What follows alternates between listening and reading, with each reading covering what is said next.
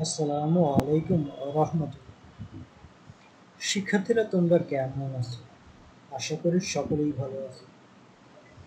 ভূগোল ও পরিবেশ বই চতুর্থ অধ্যায় থেকে মূলত আজ আমি সৃজনশীল একটা টপিক নিয়ে আলোচনা করব। মনোযোগ সহকারে পাঠটা শুনবে এবং পাঠ শেষে যতটুকু সৃজনশীল তোমাদের পড়ানো হলো পুরোটাই বাড়ির কাজ হিসেবে গণ্য দুইটা ঘটনা, একটা ঘটনা ইন্দোনেশিয়া আর একটা ইউরোপের দেশ ইতালি। এশিয়ার একটা বহুল মুসলিম অধ্যুষিত দেশের নাম হলো ইন্দোনেশিয়া। এই দেশের একটা নাম করা দ্বীপের নাম সুমাত্রা। সুনামির প্রভাবে সুনামির প্রভাবে মানুষ সহ অসংখ্য প্রাণীর মৃত্যু হয়েছে। ঘটনা দুই, ইউরোপের একটা নাম করা দেশের নাম ইতালি।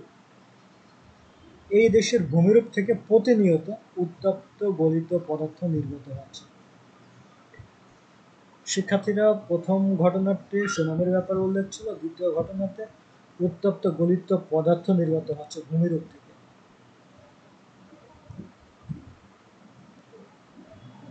ভূমিকম্প কাকে বলে বা ভূমিকম্প বলতে কি বোঝো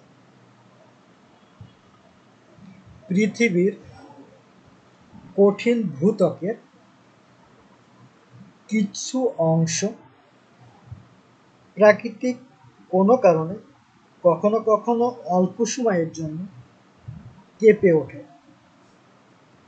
ভূত্বকের এই আকস্মিক কম্পনকেই মূলত ভূমিকম্প ইংলিশে আর্থ কোয়েক আমি আবার বলতেছি, পৃথিবীর কঠিন ভূত্বকে কিছু অংশ প্রাকৃতিক কোনো কারণে কখনো কখনো অল্প সময়ের জন্য কেঁপে ওঠে। ভূত্বকের এরূপ আকস্মিক কম্পনকে মূলত ভূমিকম্প বলে। ভূমিকম্পের কেন্দ্র ও উপকেন্দ্র বলতে কি বোঝো ভূ অভ্যন্তরে যে স্থানে ভূমিরূপের উৎপত্তি হয় তাকেই মূলত কেন্দ্র বলে। যেখান থেকে মূল উৎপত্তি হয় ভূমিরূপের, ভূমিকম্পের সেটাকে আমরা ভূমিকম্পের কেন্দ্র বলি। এবং কেন্দ্র সোজা উপরে ভূপৃষ্ঠ বিন্দু নাম হলো উপকেন্দ্র। ভূমিকম্পের কেন্দ্র ভূ অভ্যন্তরের প্রায় পাঁচ থেকে তেরোশো কিলোমিটারের মধ্যে অবস্থান করতে পারে। যেমন ছাব্বিশে জুন দুই সালে, চিলিতে এবং সাতই আগস্ট দুই সালে জাপানে সংগঠিত ভূমিকম্পের গভীরতা ছিল যথাক্রমে দশ হাজার ও পঞ্চান্ন কিলোমিটার। ঘটনা একের পিছনে কোন প্রাকৃতিক কারণটি দায়ী? ঘটনা একে যে বিষয়টা উল্লেখ ছিল, সেটা হলো সুনামি। দৃশ্যপথ একের ঘটনাটা হলো মূলত সুনামি। এই সংগঠনের সঙ্গে প্রাকৃতিক ভূমিকম্পের সম্পর্ক রয়েছে। সুনামির সাথে তাহলে ভূমিকম্পের সম্পর্ক রয়েছে। প্রথম প্রাতে দ্বিতীয় প্রাতে বাদ সঞ্চালনের কারণে সৃষ্ট ভূমিকম্প সুনামি সৃষ্টির জন্য দায়ী। কারণ প্লেটগুলো সঞ্চালনের ফলে প্লেট সীমানায় বিশাল জলরাশি সরে গিয়ে বড় ধরনের ঢেউ সৃষ্টি করে। এই বিশাল জলরাশি অতি দ্রুত ফুসে ওঠে এবং ভয়ানক বেগে সমুদ্রপৃষ্ঠের দিকে ধেয়ে আসে এবং একের পর এক উঁচু ঢেউগুলো উপকূল ও পার্শ্ববর্তী এলাকার চারদিকে ছড়িয়ে পড়ে। ফলে সুনামির সৃষ্টি হয়। সুনামির আঘাতে বিভিন্ন প্রাণী সহ অসংখ্য মানুষের প্রাণঘাতী ঘটে।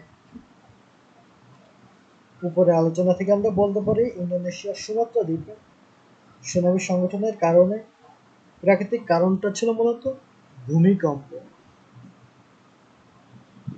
ঘটনা দুই, ইন্দোনেশিয়ার সুমাত্রার পরে ইতালি থেকে ক্রমোন্নত যে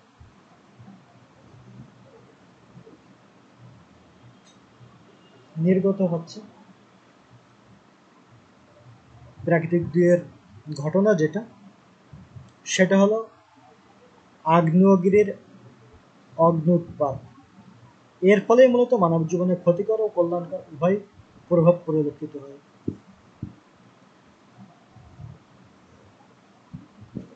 মূলত ক্ষতিকর এবং কল্যাণকর উভয় প্রকারের প্রভাব পরিলক্ষিত। ক্ষতিকর প্রভাবগুলো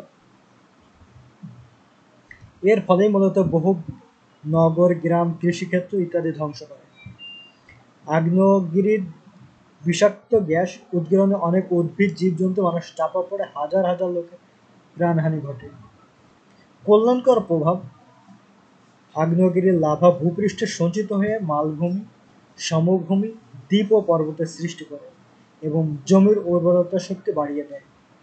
এছাড়াও আগ্নুপাতের সময় লাভার সাথে ভূ অভ্যন্তর হতে অত্যন্ত মূল্যবান খনিজ সম্পদ ভূপৃষ্ঠে নিক্ষিপ্ত হয়।